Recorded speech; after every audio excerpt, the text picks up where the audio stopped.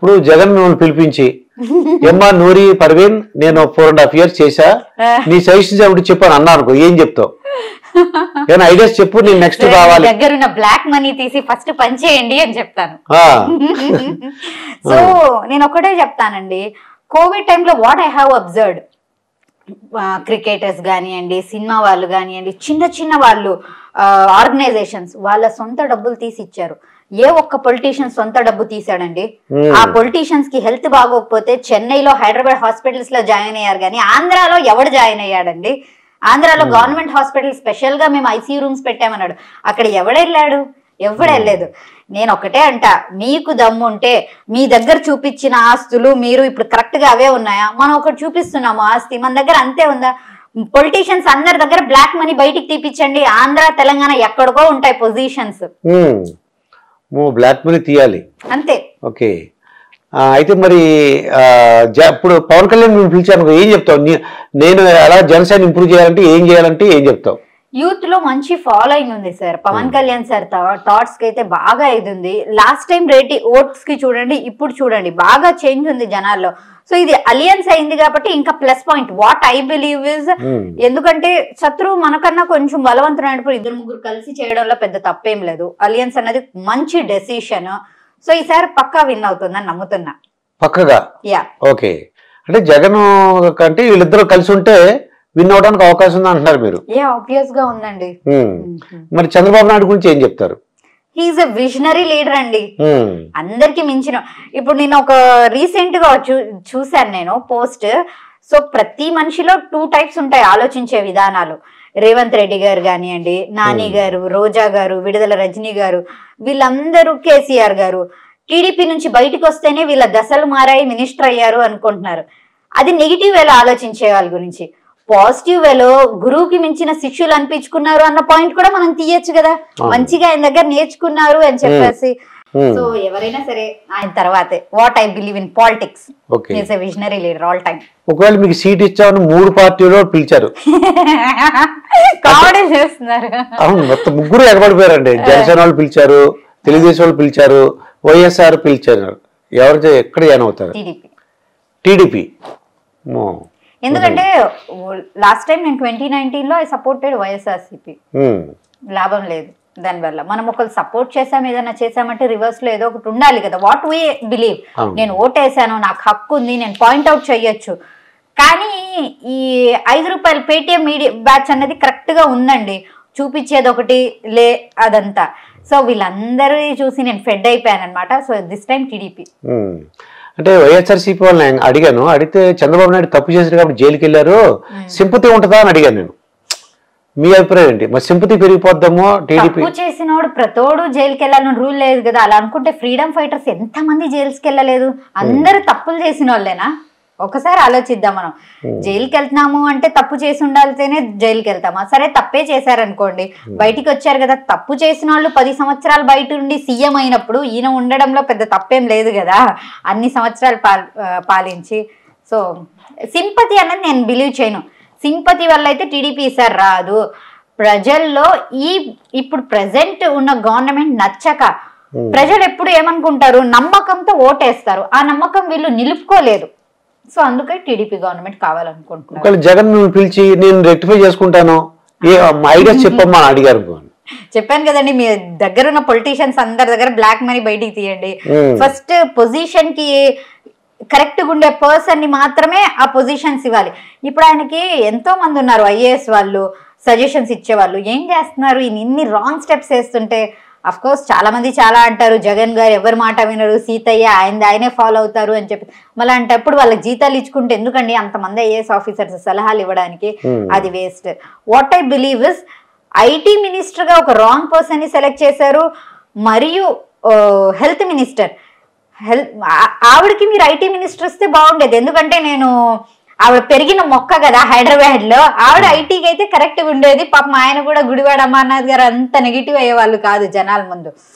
So ఇప్పుడు నేనున్నానండి నేను ఈ ప్రొఫెషన్లో కరెక్ట్గా ఉంటాను డాక్టర్ ప్రొఫెషన్ నాకు హెల్త్ మినిస్టర్ ఇస్తే బాగుంటుంది. నన్ను తీసుకెళ్ళి వేరే తీస్తే బాగోదు కదా. Hmm. అలాగే ఉన్న డాక్టర్ ఆవిడ ఆయన పోగొట్టుకుని ఉండవల్లి శ్రీదేవి గారు. తను అంత గైనకాలజిస్ట్ ఉండి అంత ప్రాక్టీస్ పెట్టుకుని కూడా ఏదో సర్వీస్ చేయాలని పాలిటిక్స్లోకి వచ్చారు. తనకి ఇవ్వకుండా వేరే వాళ్ళకి ఎవరికైనా హర్టింగ్ ఉంటుంది. ఇలాంటి చిన్న చిన్న మిస్టేక్స్ అంతే. వాళ్ళకి ఈక్వేషన్స్ ఉంటాయండి. ఈక్వేషన్స్ ఏముంటాయి? సూట్ కేసులు ఎవరు ఇచ్చారా? అదంటారు అదే అంటారు. అదే ఉంటాయి కదా. అంతకు మించి ఈక్వేషన్స్ ఏముంటాయి? పాలిటిక్స్లో డబ్బుకు మించిన ఈక్వేషన్ ఏముంది. కాకపోతే ఏంటంటే పొలిటీషియన్ అవ్వాలంటే కొద్దిగా ఇంకో టైం పడుతుంది. వెంటనే మీకు రావు ఛాన్సులు ఇలా ఇంకొక ఫైవ్ ఇయర్స్ వర్క్ చేస్తే మీకు మంచి పేరు వస్తే అందరూ కూడా ఎగబడతారు మీ దగ్గరికి రావడానికి. వాళ్ళ ఈక్వేషన్స్ని చూసుకుని జనాల లైఫ్ స్పాయిల్ చేయలేరు కదా.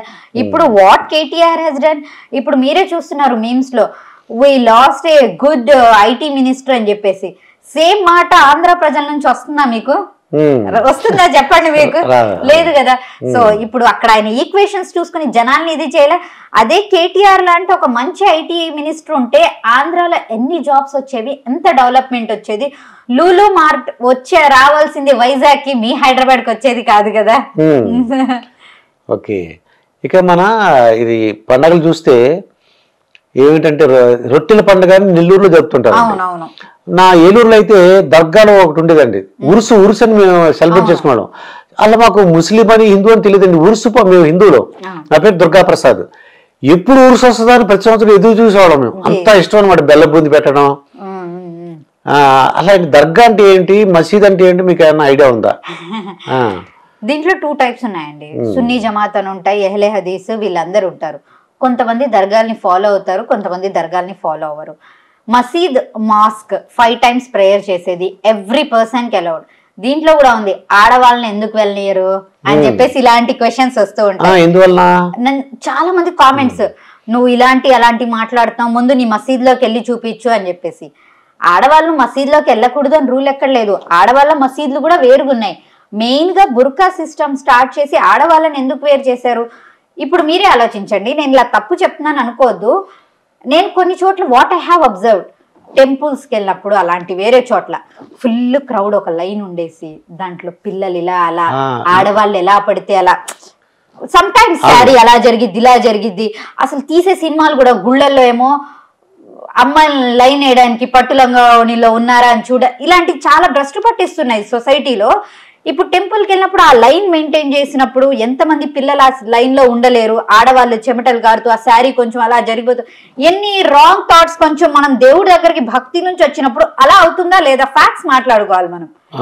ఇప్పుడు ఈ ముస్లిమ్స్లో మెయిన్ ఫస్ట్ నుంచి ఉన్నది ఏంటి?